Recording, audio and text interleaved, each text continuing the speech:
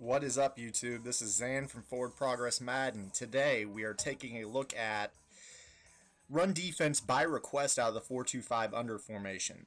This play art and setup is going to look very similar to the 4-3 over plus video. So if you're having trouble with the setup, check that one out and you'll see what I'm talking about. The play we're going to use is cover 1 from the 4-2-5 under and we're going to run it against the strong close. The setup is very similar to the 4-3 over plus in which we shift the line left, re-blitz the nose tackle, and buzz zone the defensive end.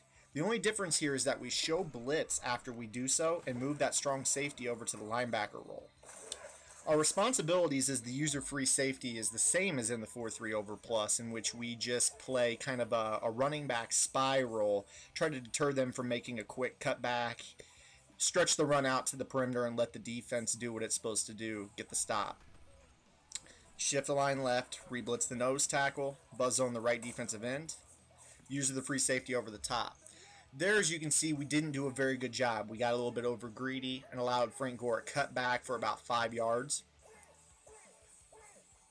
On the toss, if you remember in the 4-3 over plus, that role that Kenny Phillips is playing, he typically shoots the right B gap and drags the runner down from behind. But in the 4-2-5 under formation, he actually tries to stretch the run to the perimeter. He will not shoot the B gap. So your role is a little bit more important in which you need to make sure that Gore cannot get the corner and turn it upfield. Otherwise, the defense plays the exact same as the 4-3 over plus formation. Play art looks the exact same. The only real difference is that you have to move the strong safety down, and the middle linebacker is not in a spy. He's actually in a, a hook zone. But see there, as we try to get over the top of the blockers and stretch run the perimeter, and there are actually three CPU defenders there to help you out.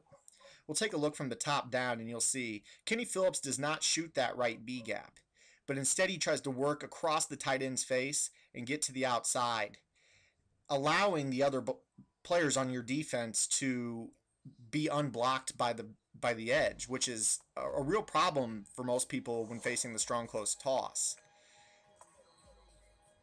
I understand that the strong close is not the only run formation in the game, it's just one of the most popular. So I'll go ahead and show you this defense against a another popular running formation, the I form close. And the play that we're going to call is the weak zone.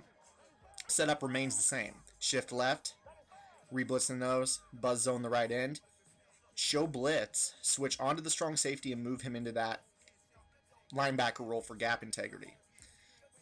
This is what happens when you get over greedy right here. I try to show you what happens when you get over greedy as it opens up cutback lanes. And then we'll correct the issue in the next setup. Gore only picked up five yards, but in most run defenses, if you get over greedy, that can end up being a touchdown. This one, the gap integrity is is fairly good, I would say. So when you stay home and kind of spy the running back, you allow your players to work off their blocks and help you out in the backfield, as you can see there. We'll go to the top-down view again and show. Because we spy over the top, we make Frank Gore have to decide where he wants. He doesn't really have anything off the left, so he's just forced to run right behind Bruce Miller as fullback and hope for positive yards, which he doesn't get. So add this run defense to the bevy of plays I've already presented you from the 4-2-5. Start getting some three and outs and stuff the run because truthfully, that's how you win games in Madden is stopping the run. Thanks, guys.